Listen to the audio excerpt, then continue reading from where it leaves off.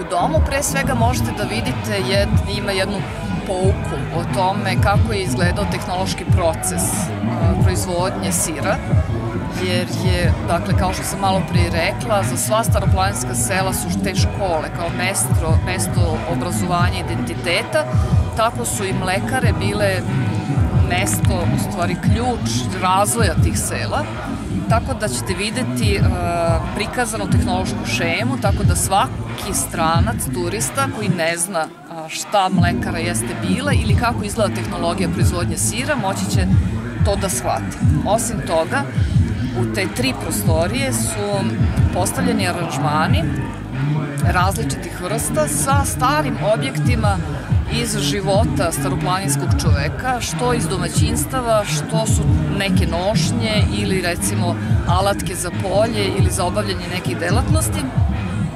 Svaki od tih artefakata ima svoje ime, onako kako ga meštani zovu, i definisano je i napisano je ime porodice koja ga je donirala.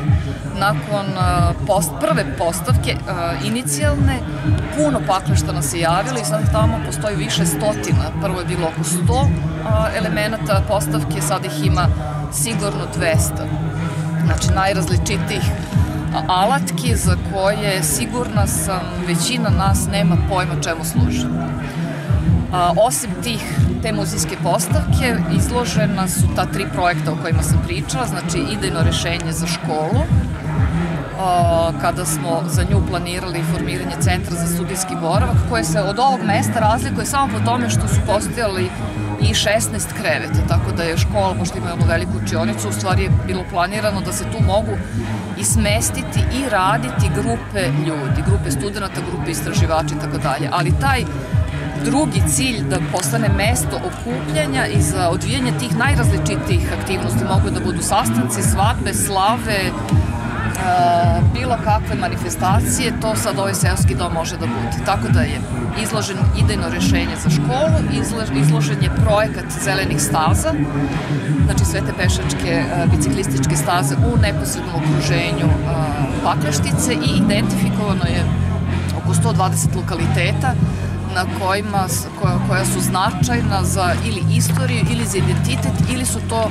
prirodne vrednosti koje bi bilo koji turista mogao kada bi se pretvorila recimo ta maketa u neku aplikaciju digitalnu mogla da bude vodič za turiste koji bi mogli da optimizuju svoje a, boravak ili a, putovanje kroz predele, tako što mogu da definišu vreme kojim je na raspolaganju, težinu staze ili tip lokaliteta koji ih zanima. Da li su to sada crkve, ili su to vodopadi, ili su vidikovci, ili su i jedno i drugo i treće, zato što imaju na raspolaganju dva dana i onda bi se mogla dobiti, optimizovati ruta koju bi oni mogli da obiđu. I treći projekat, a to je studija razvoja sela, gde smo proučili su literaturu pisanu o selu, od kada se, od, od, od prvih izvora kada se pominje, pa sve do današnjih dana, na tom a, jednom timeline-u, znači jednoj vremenskoj liniji smo prikazali razvoj sela, njegov rast, stabilan a, uspon i opadanje i sve zaključno sa ovim otvaranjem doma. Sve ovo je u cilju, uh, slobodno možemo reći, povratka uh, čoveka najviše onih mladih selu, je li tako? E, vi ste ovde sa studentima, da. šta, šta oni kažu na sve ovo? Pa studenti su veoma zainteresovani, veoma posvećeni, veoma predani i to je zaista potresno kada se vidi kako oni tu svoju jednu, ne samo veliku, nego kreativnu i pametnu i dobru energiju ulažu uh, i daju na dlanu potpuno nepoznatim ta njihova posvećenost i spremnost da učestvuju i daju je neverovatna. Drugo, ovde trenutno danas je 17 studenta, bilo ih je 27.